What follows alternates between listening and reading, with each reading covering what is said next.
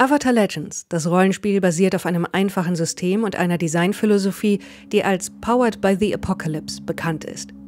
Die Charaktere verfügen nur über eine kleine Menge an Werten. Dazu gehören die vier Spielwerte Kreativität, Fokus, Harmonie und Leidenschaft. Die Werte dafür bewegen sich in der Regel zwischen minus 1 und plus 2 und geben an, was bei einem Wurf zu dem Ergebnis von zwei sechsseitigen Würfeln hinzugezählt oder abgezogen wird. Ein Gesamtergebnis von 7 bis 9 bedeutet einen Erfolg, der aber leicht eingeschränkt ist.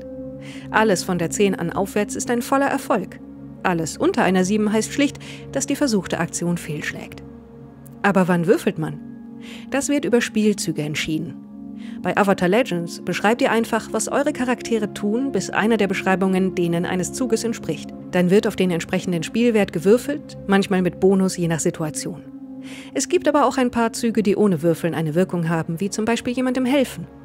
Und die Spielleitung kann für ihre Figuren, die Nichtspielercharaktere oder NSC, generell Züge ohne Würfeln ausführen. Dafür gibt es eine Reihe von Grundzügen, die in jeder Situation und für alle Charaktere gelten. Dazu gehört zum Beispiel eine Situation einschätzen. Wenn ihr nach einem Hinweis sucht, wie ihr die Umgebung nutzen könnt, wo ihr einen Ausweg findet und wer euch nützliche Informationen geben kann, wird dieser Zug ausgelöst und ihr würfelt auf Kreativität. Wenn ihr jemand Rat oder Trost spenden wollt, um eine Person zu beruhigen, aufzumuntern oder ihr Hoffnung zu geben, wird es ein Wurf auf Harmonie. Wie genau die Handlung dabei aussieht, entscheidet natürlich ihr und die möglichen Ergebnisse sind bei den Grundzügen aufgeführt und unterscheiden sich von Zug zu Zug.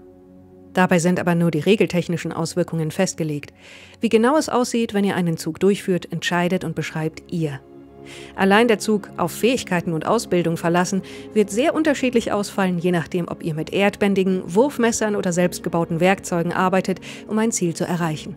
Ein spezieller Fall sind die Gleichgewichtszüge. Neben den weltlichen Dingen sind spirituelle und erzählerische Aspekte extrem wichtig für Geschichten im Avatar-Universum. Jeder Charakter bewegt sich zwischen zwei wichtigen Prinzipien, die sich ergänzen und zugleich Gegensätze sind. Durch eigene Aktionen, aber auch die von NSC, können sich die Figuren in Richtung eines ihrer Prinzipien und weg vom jeweils anderen bewegen. Das kann gefährlich sein, denn wenn eines dieser Prinzipien über das Maximum von plus 3 hinausgeht, gibt es Konsequenzen und der Charakter muss sich aus der Szene zurückziehen und für die Zukunft wird das Gleichgewicht verschoben.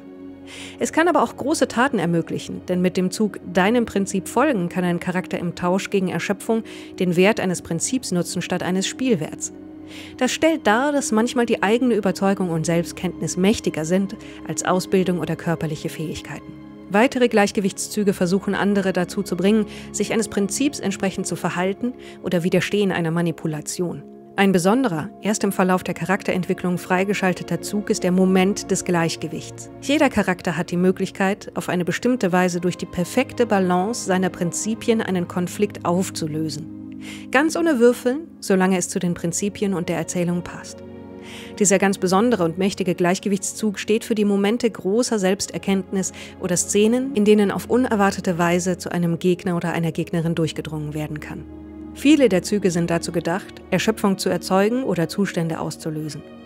Erschöpfung ist das Maß dafür, wie lange ein Charakter noch durchhalten kann, sowohl die SC als auch die NSC verfügen darüber. Erschöpfung kann im Kampf verloren gehen, aber man kann sie auch freiwillig ausgeben, um bestimmte Züge erst möglich zu machen. Sobald ein Charakter keine Erschöpfung mehr hat, ist er ausgeschaltet.